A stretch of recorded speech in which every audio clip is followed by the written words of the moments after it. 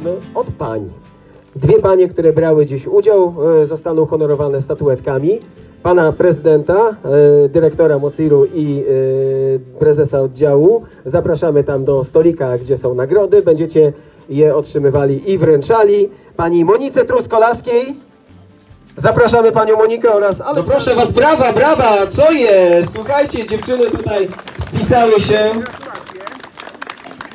Spędziły kilka godzin na łodzi, łatwo nie było. Warunki pogodowe wprawdzie miłe, ale, ale 6 godzin łowienia to nie jest prosta sprawa, więc bardzo dziękujemy paniom.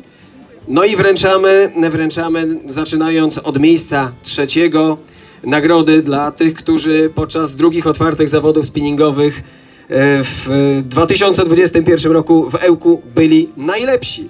Miejsce trzecie 2730 punktów, które e, to dały dwa szczupaki i cztery okonie złowione. To miejsce zajął Dariusz Michniewicz. Już łatwiej z brawami, tak jest. Witamy na podium. Artur Urbański, zastępca prezydenta miasta Ełku.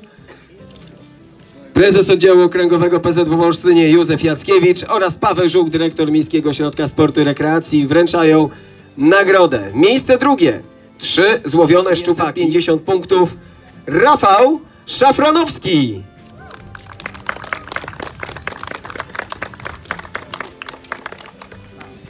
Przypominam, dziś złowiono 19 szczupaków i 25 okoni. A jedną trzecią ze wszystkich złowionych ryb zdobyli dzisiaj, złowili panowie, którzy zajęli trzy pierwsze miejsca. Miejsce trzecie i drugie już poznaliśmy, a zwycięzca pięć szczupaków. Król wędkowania Artur Sutuła. Zapraszamy na podium. Numer jeden dziś.